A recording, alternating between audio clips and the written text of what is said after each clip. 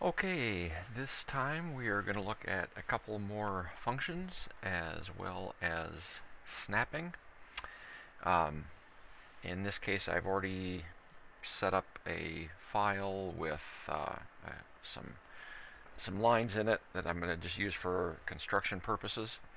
Um, we looked at um, insert line last time so there's a couple of just really basic insert uh, insert functions. Um, we already looked at insert line. This time we are going to look at insert fly line, which uh, if we bring up the, uh, the help screen, uh, insert fly line is basically a streaming digitize line mode. So I move the cursor along and everywhere that I uh, just drag the cursor, um, it's it's going to be collecting a buffer of points and then it will save points out of the buffer based on certain uh, certain parameters. So if we look at the help page, um, there's a couple things that we want to pay attention to. Uh, one is called the tube radius and one is called the maximum tube distance.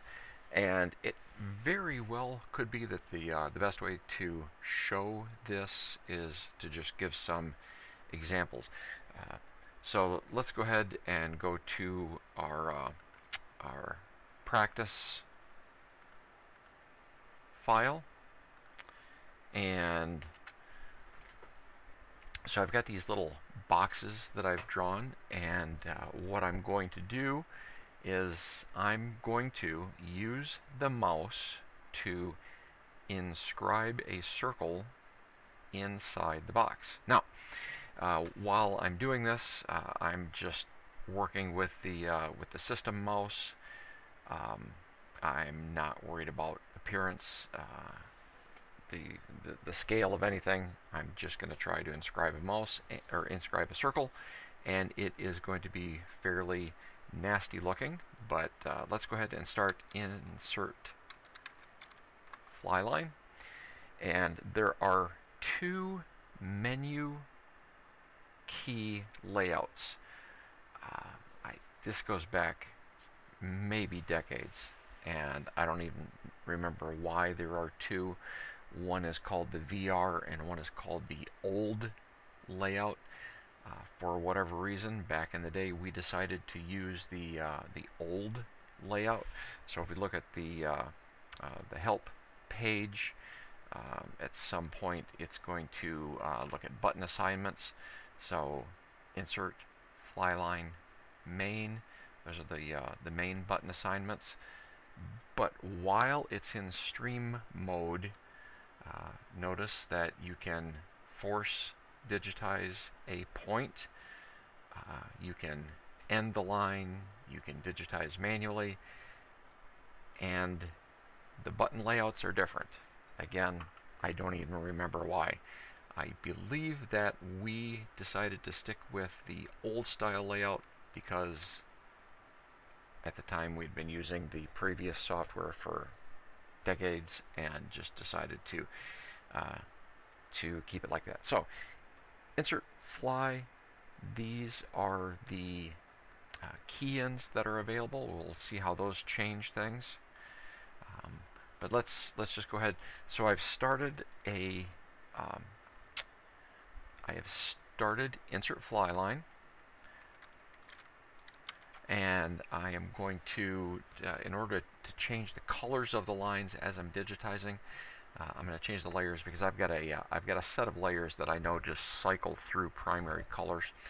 So down in the bottom status area, the two most important things are the tube width and the max distance. And uh, these these are so important that I actually set up macros.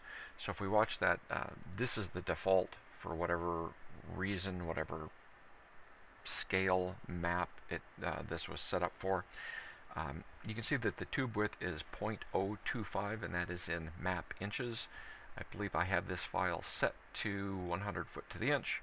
So the tube width would be um, for this one, two and a half feet. Uh, the max distance, 0.15 in map inches, uh, so that would be 15 feet, a maximum distance. So, in theory, any wiggling um, inside of a, uh, a, a 2.5 tube and a, a, uh, maximum distance of 15 feet, it's going to buffer point. So let's just go ahead and start. And you can see that it's the uh, tentative line buffers a lot of points. And I'm doing this with the mouse just to keep it pretty ugly so that you can see that there are a lot of wiggles and jiggles in there. Um, I don't even know, I don't know how big this box even is. Um, but, so when I get to the end, I'm going to uh, go ahead and hit uh, button 2 to close it and end it. And you can see that within those wiggles and jiggles, those are out of the tentative point buffer, those are the points that got stored. How do the parameters affect this? Well, let's do a, uh, a tube width, and again, uh, say TUBWID equals um, 0.1. So that's going to be a 10 foot tube buffer that it's going to work in. Let's change the layer, change the color, and go ahead and uh, ever so carefully inscribe uh, another circle. In this case, the buffer should be larger, and so you can see that even more of those little wiggles and jiggles got taken off, but there are still points being digitized. That is coming from the maximum distance. Let's change the tube width one more time, make it really large.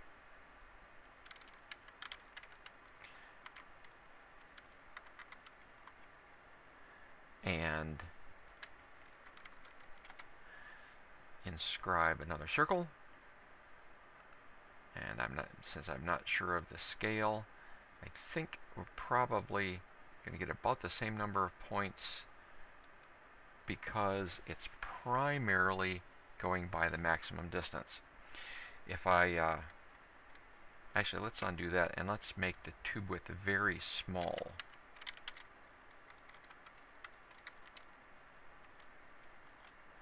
And this time, as we digitize, same max distance, lots more points because the tube width is set much smaller. So the tube width is basically constructing a tube bound, bound, um, bounding that tentative buffer so if you picture that uh, whatever that, you know, in this case it's a one foot tube, bounding that buffer all the way around, every time that a point breaks out of that buffer, it's going to store the point in that in that tentative line. Um, how does the max distance affect this? Well, let's go ahead and do a, um, so if we go back here, this was a tube width of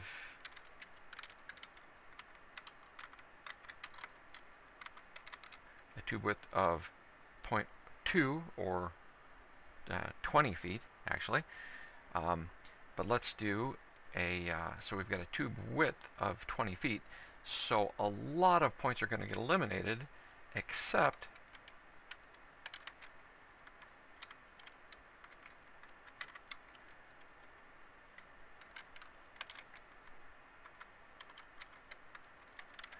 let's tell it to not allow going more than five feet without storing a point. So, um, again, very large tube width, very small max distance. Let's go ahead and draw that. These are getting more and more like diamonds every time.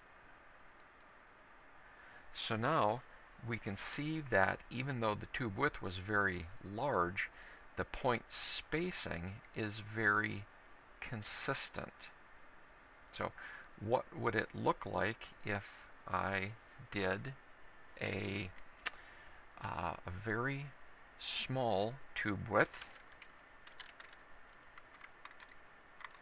and in this case we're going to say um, let's go and say half a foot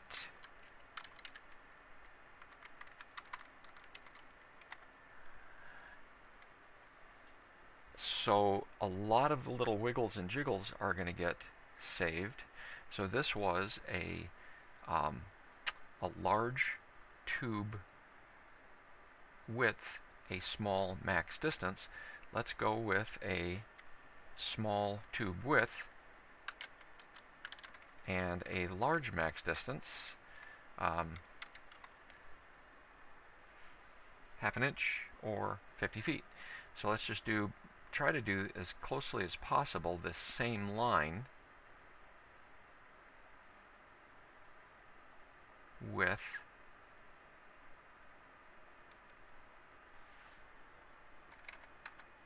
so if I take this line and move it over here this was a very small tube width so the wiggles and jiggles but where it did happen to go straight it just didn't, um, it did not store any points because I'm allowing it to go a long distance. So the, the correlation between tube width, max distance, uh, that most function keys that we use just set that as, as a default for the particular map scale. So when I'm doing things like a, uh, a, uh, a winding stream or a ditch or a break line, um, or a, a very poorly defined uh, driveway where I'm not using point-to-point -point mode, um, the uh, the tube width and max distance are going to be set. But it is not unusual to be working and think, well, here's a line where I'm more concerned about getting points on an even spacing. I'm not concerned about the little the little wiggles and jiggles. So in that case, I would set a large tube width and a small or required max distance and I would get ignore I would ignore a lot of the little wiggles with the tube width and it would store points at a regular interval based on the max distance.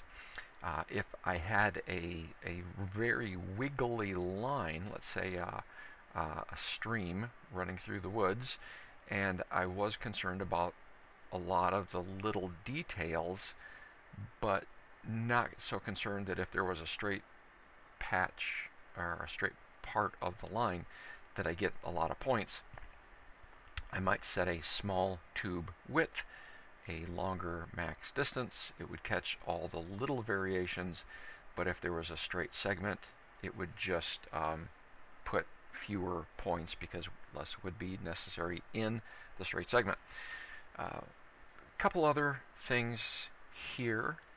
Um, let's go ahead and um, uh, we are, uh, let's go back to a, uh, uh, let's just stick with that, that nice cyan line. And I'm just going to do some digitizing. So I'm going to start my line, and let's see. In this case, we wanted a, um, a tube width of, of a reasonable size, and a max distance. And actually, I'm just gonna I'm gonna see. I think I've got a uh, a macro that if I say MD for max distance space and put a number, the macro says set the maximum distance with a zero point and then it takes the uh, the number and puts it in.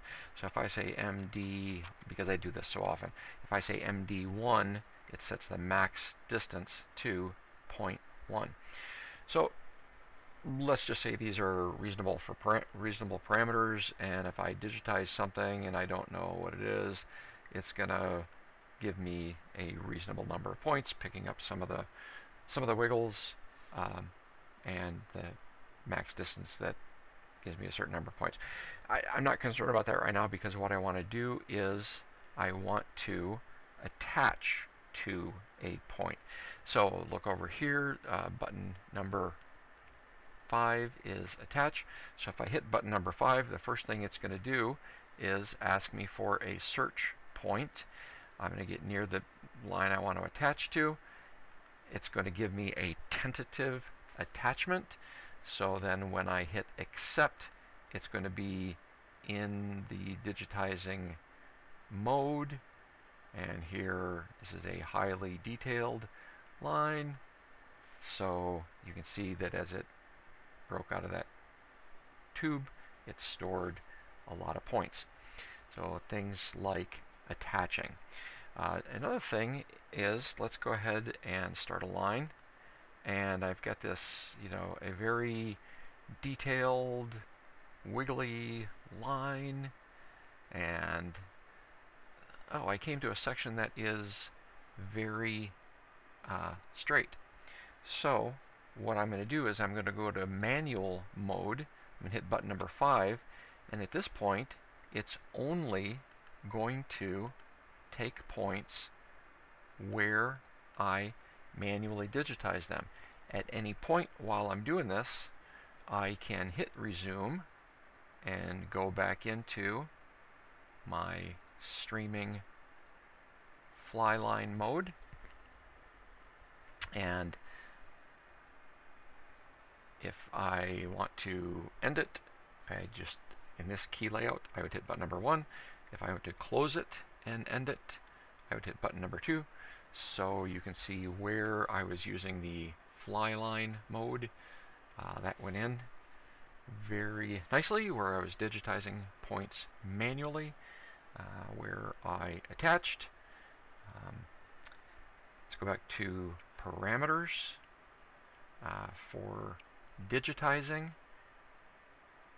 and these are all key-ins, but you know, I always say when you're practicing, always hit button 7 to bring up the, uh, the parameters.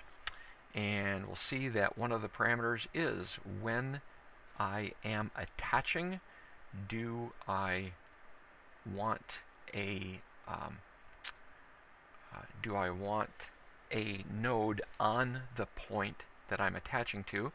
I said yes.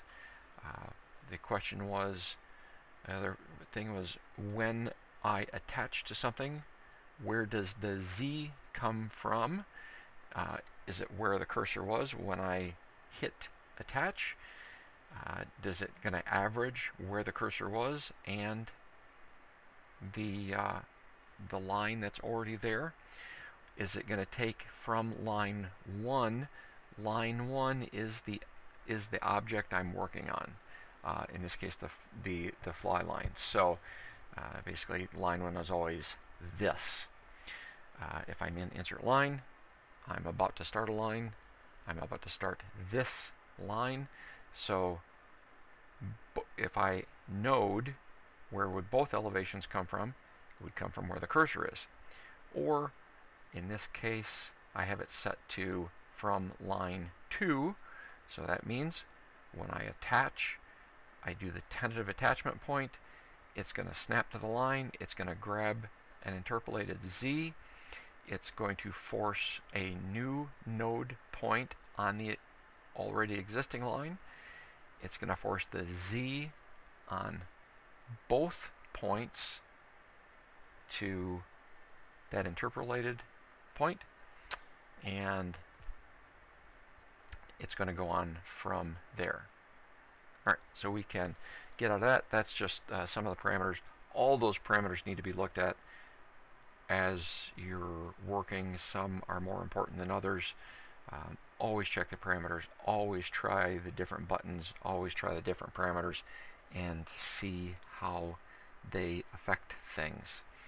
Uh, the next thing we're just going to look at briefly is insert symbol. Uh, and in this case we have an overloaded function key for insert symbol. Um, let's go ahead and start the uh, uh, button 7 for parameters and let's go ahead and just for the fun of it let's change the symbol graphics to just a simple circle. That one is um, button, or I'm sorry, 21. So this is just a graphic way of selecting a symbol. Okay, it just changed that graphic to 21. So let's go in here and we can see that insert symbol has started. If we look down on the status line, it is a one point symbol. The symbol rotation key in or uh, digitization is off and is it going to ask me for an elevation when I store it? No. The only time you'd want to use this is if you're digitizing an existing map and doing spot elevations, something like that, where you digitize a symbol. Uh, you're just digitizing in 2D mode, but you want it to force an elevation after you hit the button. Uh, you can hit the button, it'll ask for Z, it'll force that Z onto the symbol. Uh, very rarely used unless you're digitizing existing maps. Um, so it's almost always turned off. But um, let's um, go ahead and just digitize a symbol.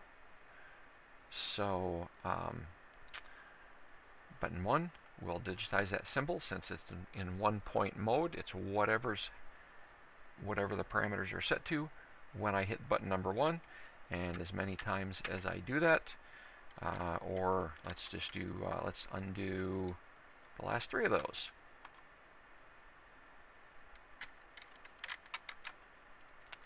All right. Um,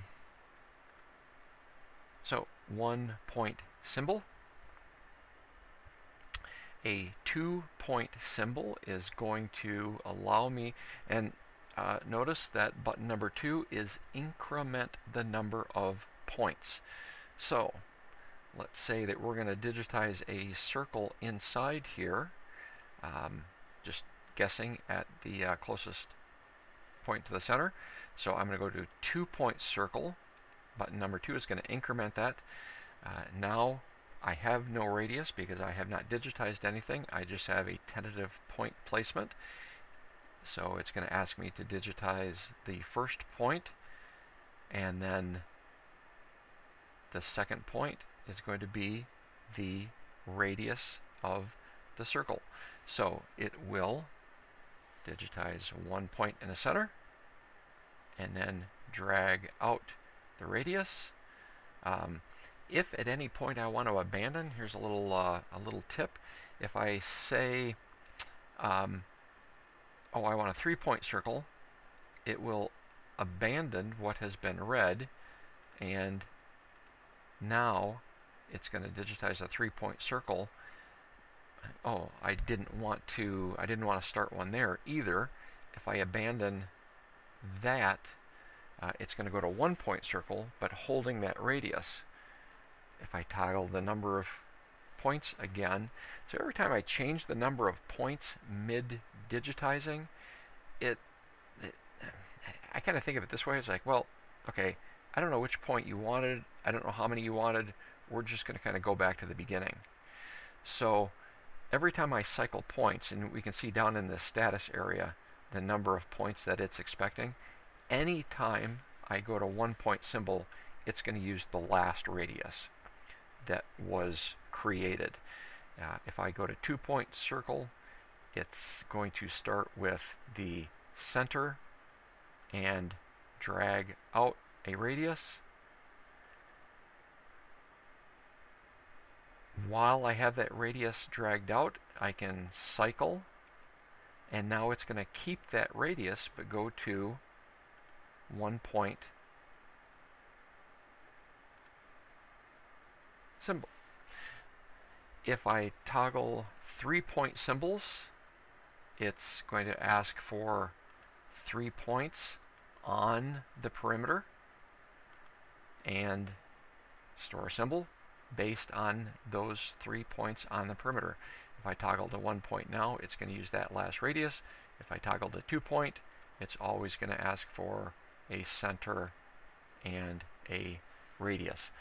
Uh, let's go ahead and change to something that is more directional than a circle.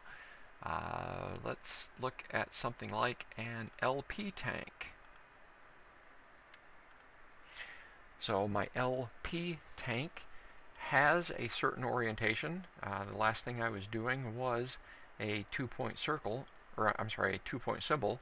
So if I do a two-point symbol, I digitize the center, and I digitize the radius, and there's my LP tank at that particular radius. However, that LP tank might also be oriented in a certain direction. I have the size so I can toggle to one point symbol so they're all going to be that size but if I look at the keys and say toggle rotation at this point let's toggle the rotation and I digitize the first point the center and then I can set the rotation.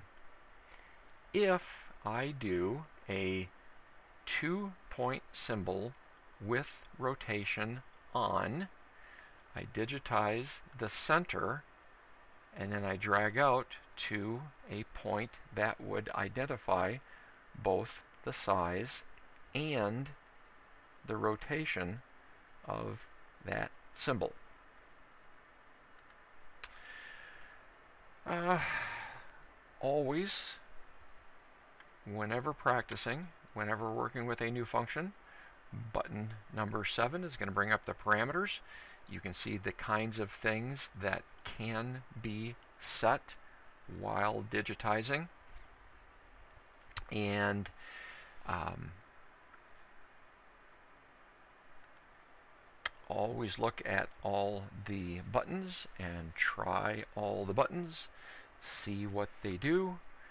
Uh, combined with the parameters uh, and the buttons, that is going to combine to create the environment that we are working in.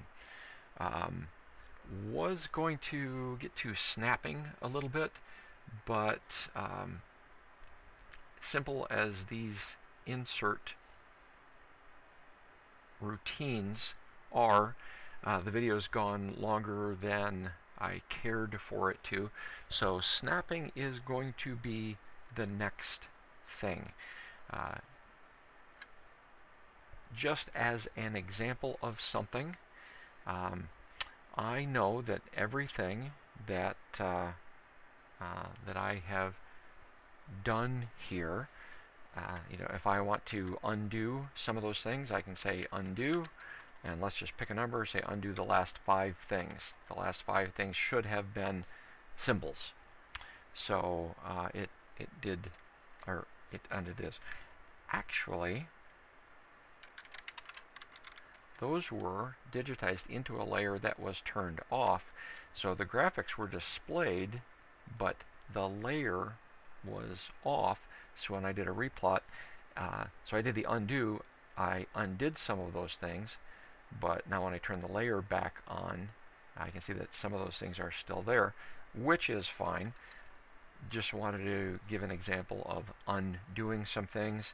Uh, if for some reason I wanted to read, I